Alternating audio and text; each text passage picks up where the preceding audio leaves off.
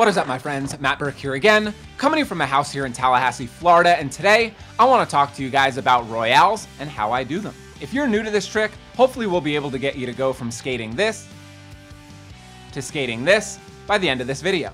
The first thing that you're going to want to do is know what a royale is, so the main thing with a Royale is you're gonna wanna be on the obstacle in between wheels two and three on your frame. Lock onto those two right there and hold it shoulders directly above the skate and then drop right back in. And so you can see here on this manual pad that I have that's only about two or three inches off of the ground. I'm just skating up to it and practicing that stall over and over again getting myself comfortable knowing where I'm landing on that ledge without looking directly at it every single time. That type of hand-eye coordination or hand-foot coordination is very important every single time you jump up to jump on any obstacle with any trick, you are going to want to know without a doubt where your feet are going to be landing. And so once I've done this stall over and over again and I'm comfortable with where I need to hold my weight, I'm gonna start practicing by slowly skating up to it and jumping onto the trick on the ledge. And so the thing about a Royale is that this is a trick that you cannot step onto. You need to jump on and commit to it every single time that you do. Sometimes it will look something like this, where your foot will fall more into a front side position. You can either ride that out or just jump off of the obstacle and get yourself ready to start over again. And so after skating that manual pad and getting comfortable with that, I'm gonna move over to this other ledge that is a little bit taller and just gonna practice that stall on here again practice jumping a little bit higher, seeing what that feels like and what that does to the weight displacement in my body. You can see that there is a wall directly next to this ledge that does block it from being able to be grinded, so I'm not gonna grind this, but I am gonna move over to this little parking block that we've got at our park. These parking blocks are a little bit weird because the edges of them are not a 90 degree like the angle iron and they also are not round. They're just a little bit odd, but it does slide very, very nicely if there is a coat of paint or a coat of wax on it. And so I'm just skating this thing a couple of times again, making sure that I'm comfortable with where my weight is, getting comfortable sliding across something, and just figuring it out.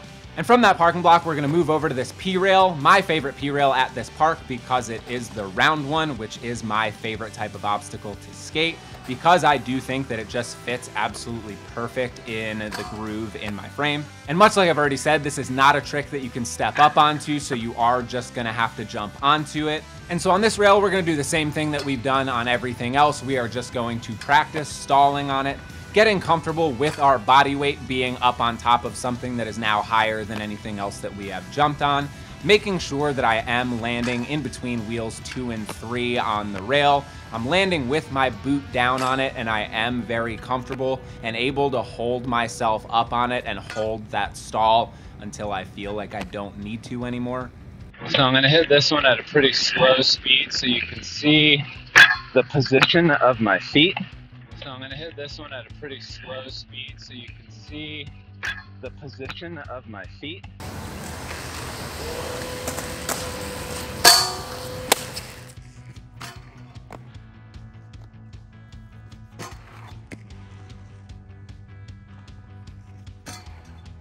I have a worry that if I jump onto a rail with, let's say, a Royale and I get some wheel bite and my body locks up and I fall off of it, the faster I'm going, the more odds I have in my favor of just overflying that obstacle and not landing on it.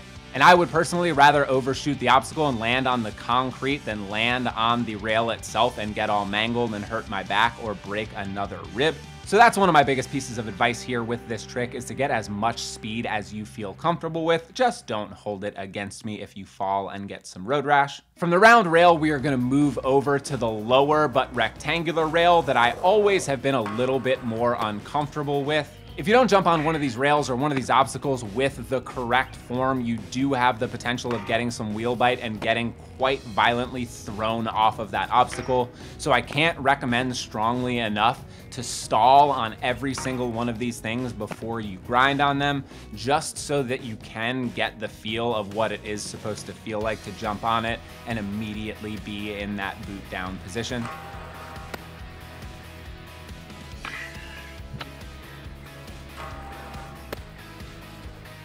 But from there, we're gonna move over to the very last obstacle and the one and only obstacle that I'm skating at the park that you cannot stall on. and it is this down ledge with the angle iron edge. This is one of those obstacles that you really just have to be comfortable and confident enough in your skill with this trick to know that you are gonna land it because like I just said, you cannot come up and stall on this thing. If you try to come up and stall on this thing, you're just gonna end up grinding it. So if you're gonna try that, I guess be ready to grind it.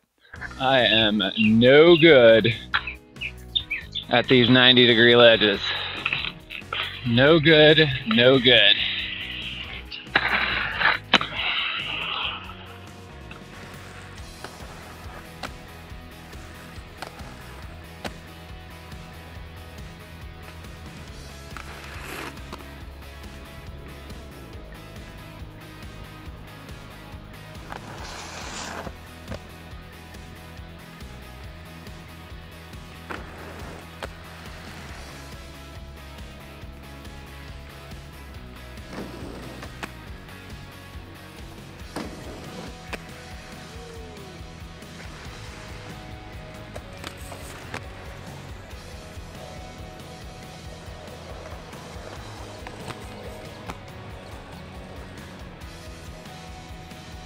And so there you have it. Hopefully, if you are not accustomed to doing royales yet, hopefully now you will be a little bit more comfortable with that trick. It is one of my favorite tricks, so hopefully I was able to explain it in a way that wasn't confusing and in a way that makes sense and isn't completely wrong.